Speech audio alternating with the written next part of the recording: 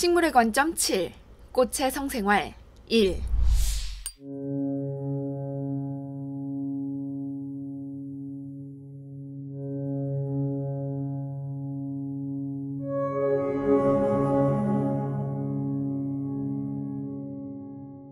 구글에 꽃을 치고 이미지를 검색해 보세요. 이런 페이지가 뜹니다. 페이지에서도 향기가 날 것 같죠? 나무 위키에서 꽃을 검색하면 이런 이미지가 뜹니다. 그런데 그 위의 제목이 생식기관입니다. 그렇습니다. 꽃은 엄연한 식물의 생식기관입니다. 아름답고 향기로운 성기입니다. 꽃은 그 모양과 크기와 색깔이 너무도 다양해서 꽃의 대표라는 건 있을 수 없지만 그래도 굳이 꽃이라고 하면 우리는 대충 이런 모습을 떠올립니다. 꽃잎과 꽃받침, 암술과 수술은 기본이죠. 꽃에 대해 배운 적이 있다면 암술을 따라 쭉 아래로 내려가면 씨방이라는 게 있고 그 속에 나중에 씨앗이 될 미씨라는 게 꼭꼭 숨어 있다는 것을 압니다. 어쨌든 우리는 이 정도는 갖춰야 제대로 된 꽃이라 부를 수 있다고 생각합니다. 사실 꽃을 정의하기는 생각처럼 쉽지 않습니다. 꽃은 엄밀히 말하면 속시식물의 생식기관입니다. 하지만 소나무나 은행나무 같은 겉시식물, 심지어 이끼류의 생식기관도 때로는 그냥 꽃이라 부릅니다. 이건 우산이끼입니다. 꽃처럼 생긴 거 보이시죠? 꽃이 아니라 포자를 만드는 포자체입니다. 이것도 꽃처럼 보이시죠? 이건 우산이끼의 무성아입니다. 이끼는 주로 포자로 번식하지만 이처럼 자신과 똑같은 걸 아주 작게 만들어 주위로 퍼뜨리기도 합니다. 암수성 구별이 없는 아주 작은 아기들인 셈이죠. 동그란 접시 가운데 초록 아기들이 잔뜩 들어있는 게 보입니다. 비가 올 때 물을 이용해서 접시 밖으로 나와 주위로 퍼져나간다고 합니다. 이건 소나무꽃입니다. 한 나무에서 암꽃과 수꽃이 따로 피는 암수 한 그루죠. 보다시피 암꽃에는 암술과 밑씨만 있고 수꽃에는 수술과 꽃가루만 있습니다. 무엇보다 꽃잎이 없으니 제대로 된 꽃이라 할 수 없는 거죠. 이건 은행나무입니다. 소나무와 달리 암꽃과 수꽃이 각각 다른 나무에서 피는 암수 딴그루입니다. 하지만 역시 소나무처럼 제대로 된 꽃은 아닙니다. 엄밀한 의미에서 소나무와 은행나무와 같은 거시식물의 꽃은 꽃이 아닙니다. 우리가 보통 꽃이라고 하면 하나의 꽃 안에 암술과 수술이 다 있는 양성화를 말합니다. 하지만 꽃에도 소나무와 은행나무처럼 암꽃과 수꽃이 따로 피는 단성화가 있습니다. 따라서 단성화에는 암수 한 그루와 암수 딴 그루 두 가지 종류가 있는 거죠. 암수 한 그루에는 이미 영상으로도 나간 참나무가 있고 호박과 옥수수 등도 있습니다. 암수 딴 그루에는 방금의 은행나무가 있고 버드나무나 시금치 등이 포함됩니다. 유전적으로 자가 수분이 좋지 않다는 건 알고 계시죠? 유전적 다양성이 훼손되고 질병 등을 일으키는 열성 유전자가 발현될 확률이 높아지니까요.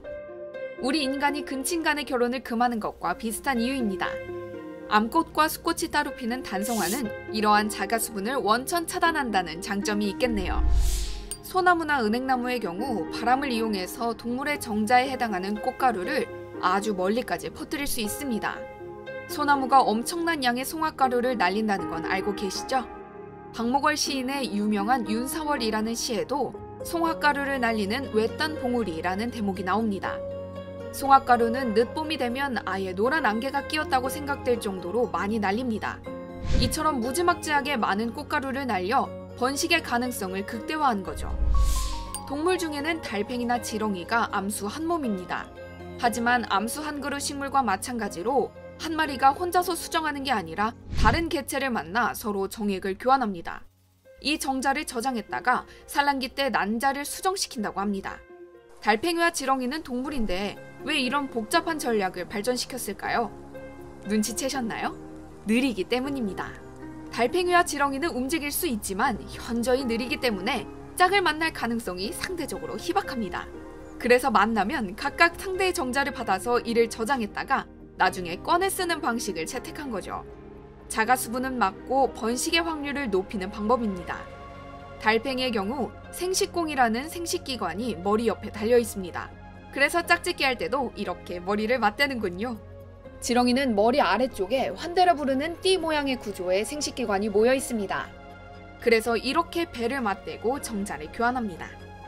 우리가 흔히 보는 양성화는 이러한 달팽이와 지렁이의 전략을 공유합니다. 암술과 수술을 한 곳에 모아 번식의 가능성을 극대화한 거죠. 그렇다면 자가수분이라는 단점은 어떻게 막았을까요? 방금 달팽이나 지렁이는 느리지만 움직여 다니면서 짝을 만나 정자를 교환한다고 했죠. 꽃은 움직이지 못하므로 바람이나 동물을 이용합니다. 특히 곤충, 박쥐나 조류 등의 수분 매개 동물을 이용하기 위해 발달한 것이 바로 꽃잎인 거죠. 하지만 한 꽃에 암술과 수술이 모여 있으니 실수로라도 서로 섞일 위험이 많습니다. 그래서 꽃은 이를 피할 수 있는 다양한 전략을 개발합니다. 가장 일반적인 방법은 수술보다 암술을 길게 만드는 겁니다. 길이가 다르니 수술의 꽃가루가 암술에 잘 붙지 않는 거죠. 자가불화합성이라는 놀라운 재능을 갖춘 식물도 있습니다. 자신의 꽃가루가 묻을 경우 암술에서 화학물질을 분비해서 이를 무력화시키는 방법입니다. 무와 배추 등 십자화과 식물에 많다고 합니다. 기상천외한 전략도 있습니다. 한 꽃에서 수술과 암술이 여무는 시기를 다르게 해서 서로 수정할 수 없도록 하는 전략입니다. 대표적인 식물이 수련의 왕 빅토리아 수련입니다. 빅토리아 수련은 1830년대 영국의 식물학자가 발견해서 당시 영국의 여왕이었던 빅토리아 여왕의 이름을 따서 지었다고 합니다. 아마존에 많이 서식해서 학명도 Victoria amazonica입니다. 빅토리아 수련은 그 잎의 크기부터 압도적인데요. 지름이 최대 2.5m에 최대 45kg의 무게까지 견딘다고 합니다. 이 나뭇잎 밑에는 뭐가 있을까요? 물 밑으로 줄기가 길게 이어져 있고 몸체는 진흙 속에 묻혀 있습니다. 하나의 뿌리에서 이렇게 거대한 40에서 50장의 잎이 자란다고 하니 그 전체 모습을 한번 상상해 보세요. 외계 생명체가 따로 없습니다.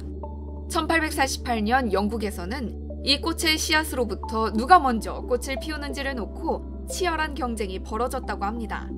당시 최고의 정원사 중 한 명이었던 조셉 팩스턴이 수개월 만에 꽃을 피우는 데 성공했고 이를 당시 여왕이었던 빅토리아 여왕도 구경했다고 합니다. 이와 관련되어 또 다른 재미있는 이야기가 전합니다. 1851년 당시 영국 런던은 제1회 만국 박람회를 준비 중이었고 이 행사를 치를 멋진 대형 건축물을 짓기로 계획했지만 마땅한 좋은 아이디어가 없어 전전긍긍하고 있었다고 합니다. 이때 조셉 팩스턴이 철과 유리로만 이루어진 거대한 구조물을 제안했고 이것이 받아들여졌던 거죠. 전 세계를 놀라게 한 이 구조물이 그 유명한 수정궁 크리스털 팰리스입니다. 이 건물은 당시 500만 명 이상의 방문객을 감동시켰고 팩스턴은 이 공로로 귀족 작위까지 받았다고 합니다. 정원사였던 팩스턴은 이 건물을 설계할 때 식물의 모듈 구조와 빅토리아 수련의 모습에서 그 영감을 얻었다고 합니다. 식물의 모듈 구조란 똑같은 단위가 반복되어 전체를 이루는 구조를 말합니다. 식물은 움직이지 못하기 때문에 자신의 일부가 먹혀도 살아남을 수 있어야 합니다. 그래서 몸 전체에 비슷한 구조가 반복되는데 이를 모듈 구조라고 합니다.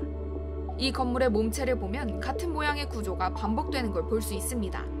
이러한 조립식 모듈을 사용하면 수만 개의 모듈을 신속하게 대량 생산할 수 있어 건축 시간을 단축하고 비용을 절감할 수 있는 거죠. 또한 건물 윗부분의 아치 형태는 빅토리아 수련의 모습에서 착안한 거라고 합니다. 팩스턴은 나중에 이와 동일한 기법을 사용한 거대한 유리 식물원을 설계하기도 했다니 참 대단합니다.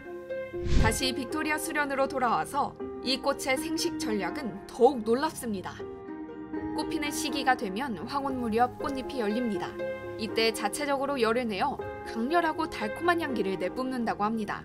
이 향기를 맡고 애기뿔 소똥구리가 꽃 속으로 들어오면 꽃잎이 다치고 다음날 저녁까지 그들을 가둬둡니다. 그 사이 꽃 속에서 놀라운 일이 벌어지는데요. 암술이 시들고 수술이 자라나는 거죠. 이처럼 빅토리아 수련은 단 하루 만에 암꽃에서 수꽃으로 변신합니다. 성이 바뀌면서 꽃잎의 색도 순백에서 분홍빛이 도는 보라색으로 바뀝니다. 그리고 나서 꽃잎을 열면 애기뿔 소똥구리는 수술에 있는 꽃가루를 잔뜩 묻혀 다른 암꽃으로 날아갑니다. 그저 놀라울 따름이라 입이 다물어지질 않습니다. 개나리나 앵초 등의 경우도 놀라운 전략을 구사하는데요. 꽃의 종류를 아예 두 가지로 만든 겁니다. 암술이 긴 장주화와 암술이 짧은 단주화입니다. 그러면 한 꽃에서 수정이 잘 일어나지 않고 수술이 짧은 장주화의 꽃가루는 암술이 짧은 단주화에, 수술이 긴 단주화의 꽃가루는 암술이 긴 장주화에 잘 붙게 되는 거죠. 헷갈리시죠? 어쨌든 키 큰 애들은 키 큰 애들끼리, 작은 애들은 작은 애들끼리 짝짓기해서 자가 수정의 가능성을 최대한 줄인 겁니다. 이게 개나리의 단주화와 장주화입니다. 단주화에는 수술이 밖으로 튀어나와 있고 장주화에는 암술이 밖으로 튀어나와 있는 거 보이시죠? 봄에 지천으로 피는 개나리꽃에 이처럼 놀라운 비밀이 숨어 있다니 좀 놀라셨죠? 다음에 개나리꽃을 보면 꼭 체크해 보시길 바랍니다. 1997년 개봉한 SF 영화 콘택트에는 배가성의 외계인이 나옵니다. 배가성은 지구로부터 25광년 떨어진 별로 동양에서는 7월 7석 견우와 직녀에게 나오는 직녀성입니다. 영화에 등장하는 외계인은 다소 실망스럽게도 주인공의 아버지 모습입니다. 외계인이 주인공의 뇌를 스캔해서 가상현실을 만들었다는 설정인 거죠. 아버지를 만나기 전 웜홀을 통과한 주인공은 이렇게 말합니다. 무슨 말을 해야 할지, 무슨 말로도 설명 못할 시. 시인이 왔어야 했어. 너무 아름다워. 정말 너무 아름다워. 역시 아쉽게도 영화는 주인공만 보여줄 뿐 주인공이 무엇을 보고 있는지는 보여주지 않습니다. 관객의 상상에 맡기는 영리한 전략인 거죠. 인간은 다양한 방식으로 외계 생명체를 상상해왔습니다. 하지만 항상 그렇듯이 인간보다는 자연의 상상력이 월등합니다. 우리가 관심이 없어서 그렇지 식물의 세계를 조금만 들여다봐도 너무나 놀랍고도 경이로운 세계가 펼쳐집니다. 콘택트에서 주인공 조디 포스터가 본 게 무엇인지는 몰라도 눈물까지 쏟아낸 그 경외감을 식물에게 돌려도 조금도 선색이 없을 겁니다. 익숙함으로 인해 감각이 무뎌지지만 않았다면 식물의 세계에 매혹되지 않기란 불가능합니다. 특히나 식물의 꽃은 자연이 만들어낸 무슨 말로도 설명 못할 한편의 시입니다.